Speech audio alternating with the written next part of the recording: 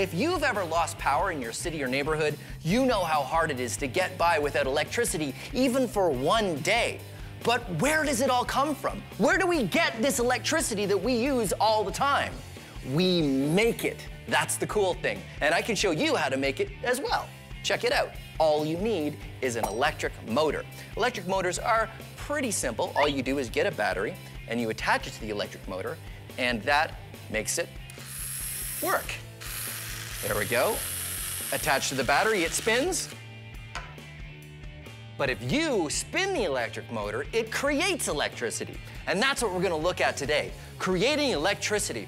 We're gonna build a wind turbine. But first, you need an electric motor. And you can probably get one from a broken toy. Just make sure that the toy is broken and that the broken part isn't the electric motor.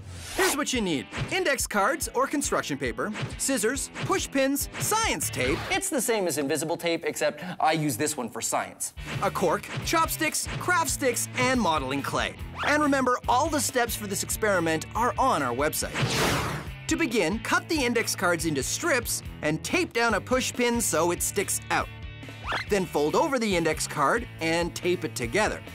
Then stick the pin into the cork and repeat that step. If you want as many blades as you can get on your fan, you're welcome to do that. Next, take your modeling clay and stick the chopsticks in, then tape the craft sticks in between with science tape.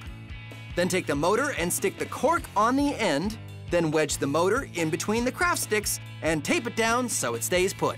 And there you go, a fan that will spin in the wind.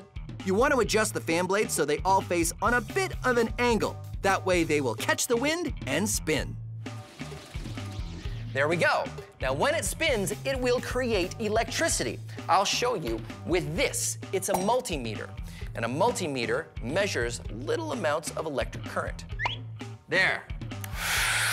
The hairdryer makes wind, spinning the fan blades, and we are creating electricity. Now, pretty much all electricity that you make comes down to turning a generator. A small motor like this isn't gonna produce a lot of electricity, barely enough to power one tiny little LED, but it's a start.